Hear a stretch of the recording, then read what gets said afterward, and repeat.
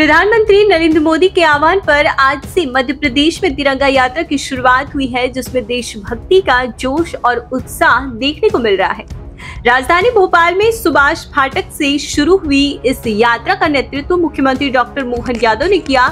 यात्रा के प्रारंभ में उन्होंने पैदल मार्च किया और फिर कुछ दूरी के बाद खुली कार में सवार होकर तिरंगा यात्रा का हिस्सा बने। यात्रा में शामिल मुख्यमंत्री डॉक्टर मोहन यादव और खेल एवं युवा कल्याण मंत्री विश्वास सारंग अपने हाथों में तिरंगा थामे हुए थे। देशभक्ति के नारे गूंजते हुए इस यात्रा को जगह जगह पुष्प वर्षा के साथ स्वागत किया गया।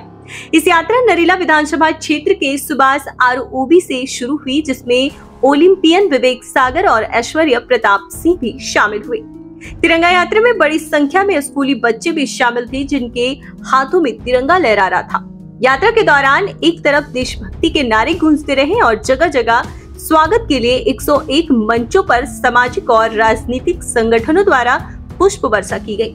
यह आयोजन प्रधानमंत्री मोदी के आह्वान का समर्थन करते हुए मध्य प्रदेश के नागरिकों में राष्ट्रीय गर्व का संचार करने के उद्देश्य से किया गया।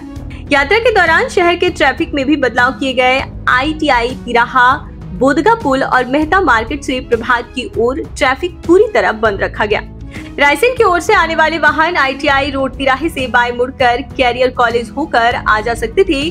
बोगदा पुल से प्रभात की ओर जाने वाले वाहन जिंसी और होशंगाबाद रोड होते हुए आ जा रहे थे। मेहता मार्केट से प्रभात की ओर जाने वाले वाहन अंडरब्रिज से गुजरे।